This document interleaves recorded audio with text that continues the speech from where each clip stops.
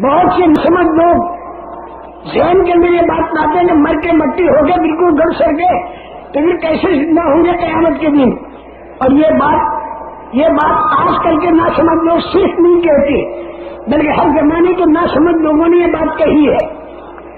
लेकिन अल्लाह पाक मेहरबानी फरमाकर और अपनी दलीलों के साथ तीन बातें समझाते हैं। एक अल्लाह पाक का वजूद, एक नदियों की नबूत और एक मरने के बाद दोबारा ज़िंदा होना। इसको अल्लाह पाक अपनी दलीलों के साथ समझाते हैं। ताकि दुनिया के बसने वाले इंसान अपने अकल से काम ले। अल्लाह पाक खुद नहीं दिखाई देते। अल्लाह पाक की कुदरत और अल्लाह पाक के खजाने बिल्कुल दिखाई नहीं देते। अल्लाह पाक की कुदरत बहुत बड़ी कुदरत है। हमेशा से हमेशा रहेगी। अल्लाह की कुदरत लाल हदूद और में हिसाब है। कोई चीज़ अल्लाह की कुदरत से निकली हुई नहीं। और अल्लाह के खजाने मेहनतों के भी बेहिसाब है, तकलीफों के भी बेहिसाब है। लेकिन न तो वो खजाने दिखाई देते हैं, न अल्लाह पाक की कुदरत दिखाई देती है। लादूरी को अवसार बहुल अवसार बहुल लतीफुल खबीर। ये आँखें अल्लाह पाक को इस दुनिया के अंदर नहीं देख सकती। और वो अल्लाह पाक सबको देखते हैं। तो सवाल ये पैदा इसको कुछ हिला रखा है हाथ तो नहीं मार रहे इसको? सवाल ये पैदा होता कि अल्लाह पाक जब आप दिखाई नहीं देते, आपके कुदरत दिखाई नहीं देती, आपके खजाने दिखाई नहीं देते तो हमको आपकी मार्फत कैसे मिलेगी? हम आपको कैसे पहचाने? तो अल्लाह पाक बड़ी मेहरबानी से इशाद फरमाते हैं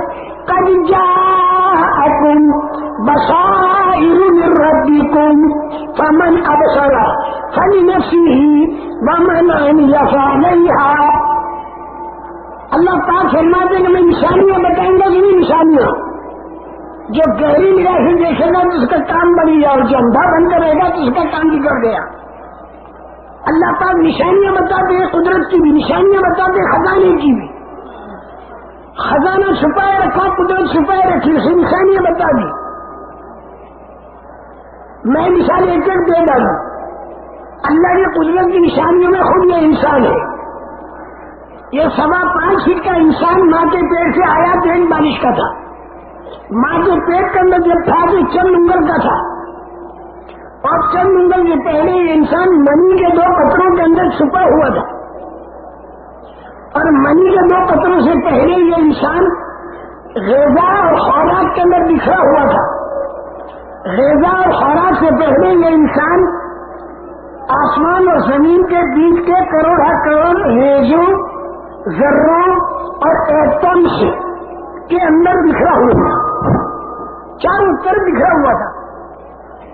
रेजा और खुराक से पहले ये इंसान कहाँ था?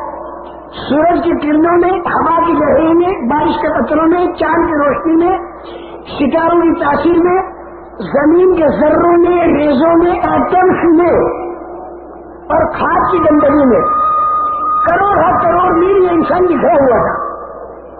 आज से सौ साल पहले हम और आप लाइन में लगे हुए थे, जिसकी बारी आ गई वो दुनिया के अंदर आ गया। और इस वक्त में करोड़ करोड़ इंसान और जानवर ज़मीन आसमान के बीच में लाइन में लगे हुए कोई इनकार करने का नहीं कर सकता। देहरिया भी इनकार नहीं कर सकता। ये लोहालात बात है। मेरे मोहतरम दोस्तों, अल्लाह ने सारा निज़ाम ज़मीन आसमान के बीच का दिया करोड़ करोड़ मील का। अल्लाह पाक ने रेजा और खुराक तैयार कर दी। रेजा और खुराक को मर्द और औरत ने खाया। मनी तैयार कर दी। दोनों मिले। हमल ठहरा। चालीस दिन के अंदर खून का लोथड़ा जिसे अलाका कहते फिर दूसरे चालीस दिन में गोश्त का लोथड़ा बना, जिसे मुदवा कहते फिर तीसरे चालीस दिन के अंदर शक्ल इंसानी पूरी तैयार हो गई। चंद उंगल की, माँ के पेट में तंग जगह और अंधेरे में अल्लाह पाक ने शक्ल इंसानी तैयार कर दी और उसमें रूह डाल दी।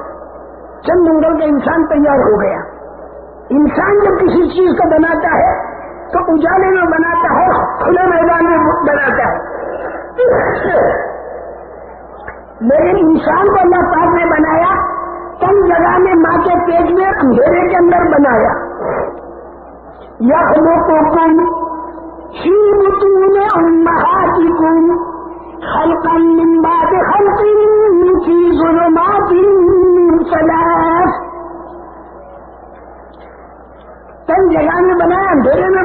अल्लाह ने। और भूल हुई नहीं जरा भी भूल नहीं हुई। और चंद उंगल में जो इंसान बनाया अल्लाह ने, उसके अंदर आँख, कान, जबान, हाथ, पैर, दिल, दिमाग ओजड़ी कलेजी, इल्ली, फेफड़ा, गुर्दा, मसाना, हसली असली कोहनी पंजा, पाँच उंगलियाँ, तीन पूर्वे, एक नाखून। ये सब तैयार कर दिया अल्लाह ने। और दांतों की सीट ये भी तैयार कर दी और अंदर अल्लाह पाक ने रूह भी डाल दी। और नौ महीने के अंदर बच्चे बन के निकल आया। फिर एक जमाना इस पर जवानी का आया। फिर एक जमाना इस पर बुढ़ापे का आया। फिर एक जमाना इसके ऊपर मौत का आया। हमारा महबूब अल्लाह, हमारा मेहरबान अल्लाह, हम लोगों को जानने से बचाने की तरतीब कायम करने के लिए हम लोगों का जहन बनाता है कि मेरे बंदे जरा अकल से काम लो कि तुम्हारे ऊपर मैं यानी अल्लाह पाक कितने दौर लाए। एक दौर मट्टी का, एक दौर मनी का, एक दौर बचपन का, एक दौर जवानी का, एक दौर बुढ़ापे का। अल्लाह पाक कहते हैं, ये दौर तो तुमने देख लिए। अल्लाह पाक कहते मैं दौर और लाऊँगा। जिसकी मैं खबर देता हूँ। वो ये कि कयामत के दिन तुम्हें दोबारा ज़िंदा करूँगा और ज़िंदा करके तुम्हारा हिसाब लूँगा। जिसने मेरे को राज़ी किया, उसको जन्नत में दाखिल करूँगा। और जिसने मेरे को नाराज़ किया, उसको मैं जहन्नम के अंदर दाखिल करूँगा। अल्लाह पाक फरमाते हैं, जरा अकल से काम लो कि जो अल्लाह तुम्हारे विरुद्ध दौर ना चुका तो क्या वो अल्लाह कयामत के दिन तुमको दोबारा ज़िंदा करने वाला दौर नहीं ला सकेगा? जो अल्लाह करोड़ों करोड़ करोड़ करोड़ मील के जर्रात और रेजों को जमा करके और चंद उम्र का बच्चा तुमको बनाकर, माँ के पेट के अंदर जो अल्लाह जान डाल चुका, करोड़ों करोड़ मील के जर्रात को जमा करके तो तुम्हारे मरने के बाद सात, आठ फीट की कबर के अंदर तुम्हारे बदन को रेजा रेजा करके, क्या कल कयामत के दिन अल्लाह पाक दोबारा इसमें जान नहीं डाल सकता? जो करोड़ों के जर्रात में जान तो वो फीट के कबर के अंदर के जर्रात में क्या अल्लाह पाक जान नहीं डाल सकता? अल्लाह पाक कहता है, जरा अकल से काम लो। ये कुरान में है, कुरान में। मेरे अल्लाह का कलाम है ये। मेरे महबूब अल्लाह का कलाम है। मेरे मेहमान अल्लाह का कलाम है। मेरे फजल करने वाले अल्लाह का कलाम है। कदर करें हम। खलककुम मिन तुराबिन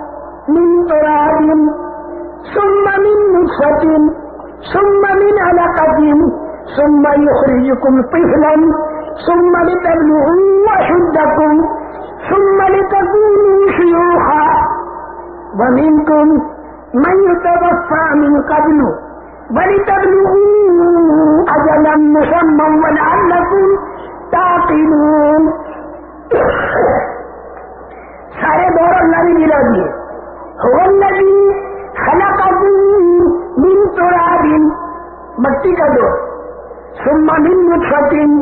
मनी का दौर।